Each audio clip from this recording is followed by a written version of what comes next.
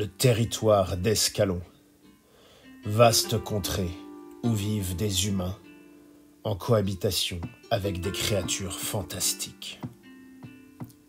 Lui, c'est Darakshan, un magicien qui veut dominer notre belle terre.